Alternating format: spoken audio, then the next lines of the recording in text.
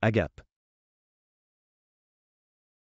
Le mot agape est un terme souvent utilisé dans les textes religieux pour désigner des repas fraternels ou communautaires. Il vient du grec ancien agapé, qui signifie amour, et peut être traduit par banquet d'amour ou repas d'amitié. Les agapes étaient souvent associées aux célébrations religieuses et symbolisaient l'unité entre les membres d'une communauté. Elles étaient également considérées comme un moyen de renforcer les liens entre les personnes et de favoriser l'amitié et la fraternité. Aujourd'hui, le terme agape est toujours utilisé pour désigner des repas de communion ou de célébration dans certaines traditions religieuses.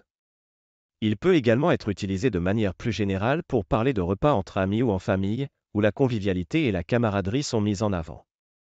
Exemple, lors de la fête de la Pentecôte, les fidèles se réunissent pour partager des agapes. Après la cérémonie de mariage, les invités sont invités à partager des agapes dans une salle à côté de l'église. Les repas de fête, comme la dinde de Noël en famille, peuvent également être considérés comme des agapes.